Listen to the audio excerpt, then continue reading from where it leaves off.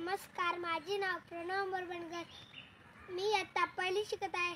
माझ्या शाळेचे नाव आदर्श जीवन शिक्षण विद्या मंदिर हरणे नंबर एक. नमस्ते मित्रांनो कसात तुम्ही सर्वजण? ओळखा मी कोण बोलत आहे?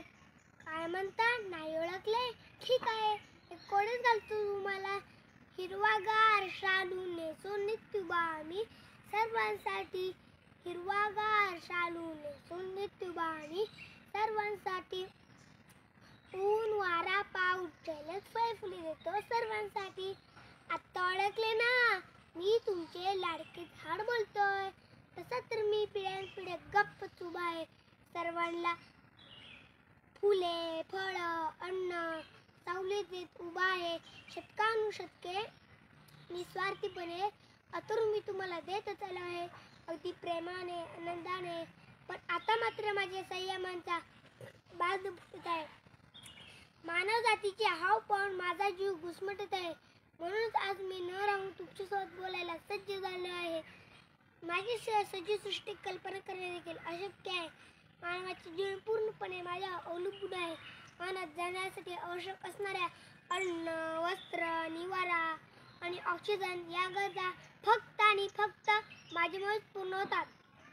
मी सूर्यप्रकाश हरितलोके आणि कार्बन डायऑक्साईड यांपासून अन्न तयार करतो आणि ऑक्सिजन बाहेर सोडतो हा प्राणवायू घेऊन सजीव सृष्टी जगू शकते. आणि तसेच नाही तर माझ्यामध्ये वेगवेगळे औषधी गुणधर्म देखील आहेत. याशिवाय घरातील कपाटे दरवाजे टेबल खुर्ची इत्या वस्तू देखील माझ्यापासून बनवले जाते. तुम्ही जी पुस्तके वाचता ज्यावेळी लिहिता ती सुद्धा माझ्यापासून बनवली जाते. तुम्हा सर्वांना गोड फळे रंगीबेरंगी सुगंधी फुले सुद्धा मीच देतो. आणि गुळे वासे पशु पक्षी आणि तुम्हाला सुद्धा उन्हापासून वाचवण्यासाठी मी सावलीत देतो. माझ्या आणि तुमचे फार जुने आहे. माणसांचा आणि झाडांचा जन्म सर्वात अगोदर झाला. हळूहळू माणूस बुद्धिमान होत गेला. मी माझा विसर पडला. आज माणूस चंद्रावर जातोय तो बुद्धिमान झाला आहे. हे मात्र कळत नाही की तो माझा नाश करून करतोय. त्या फक्त स्वतःचा स्वार्थ दिसतोय. अरे मानवा मी तुला प्राणवायू देतो. त्यामुळे तू जिवंत आहेस. आणि हेच नाही तर दैनंदिन जीवनात माझा असंख्य प्रमाण उपयोग होतो. हे तू विसरलास काय? जरा विचार कर. माझी फळे खाऊन तू बलवान होतोस. पुन्हा ताणतो आलास की माझ्या सावलीला बसतोस. आणि शेवटी माझाच नाश करतोस. हे पटतं का तुला? जरा विचार कर. या माझ्या फुलाचा कलर आनंदाने केसर घालतात. त्या आनंदाने केसर घालतात. पण त्याला मला मा- मात्र पाणी घालावे असे वाटत नाही. माझ्यापासून कागद बनतो त्यावर शिकून तू बुद्धिमान झालास.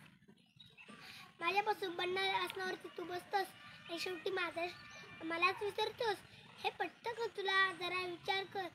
मी जेव्हा जुने दिवस आठवतो तेव्हा मला खूप आनंद होतो. पूर्वी गावामध्ये गावकरी माझ्या बुंदेशी बसून गप्पामध्ये मग्न व्हायचे.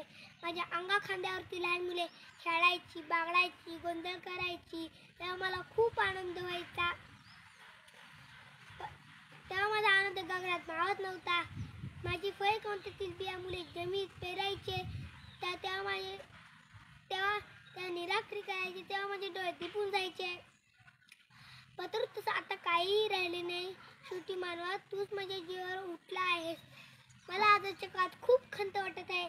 माणूस माझा नाश करत आहे पर्यावरणाचे प्रदूषण करत आहे. माझा उपयोग चुकीच्या चुकीच्या काळासाठी करतो. मुले मला फळासाठी दगड मारतात. मला वेदना होतात खूप. माझा गरज बसते की मला हवेत तोंड टाकता. मला मनातून खूप वेदना होतात ते मी निवडपणे सहन करतो. माझ्या खूप प्रजाती नष्ट होत आहेत. आणि सर्व भावंडे मृत्युमुखी पडत आहेत मी ज्या माणसाने एवढं काय दिलं ज्या माणसाने मला काय दिलं फक्त आणि फक्त वेदना दिल्या. फोटो काढण्यापुरते सुरू पण न करता प्रत्येकाने किमान दरवर्षी एक तरी झाड लावून जगवले पाहिजे. लक्षात ठेवा तुम्ही जर मला जगवले तर तुमची भावी पिढी निरोगी राहील. अजून वेळ गेलेला नाही वेळी सावध व्हा आम्ही जगलो तर तुम्ही जगाल हे विसरू नका. माझे संरक्षण कर तुला सृष्टीमध्ये सर्व काही मिळून जाईल. मी तुला प्राणवायू देतो. ही गोष्ट मनात ठेव. ही माझी प्रामाणिकपणे वाग मला एवढी शेवटी सांगावे वाटते की कावळा करतो काव काव कावळा करतो काव काव. माणसा एक तरी जाळला माणसा एक तरी जाळला. मला जेव्हा संत विचार समजे तेव्हा मी भारावून गेलो.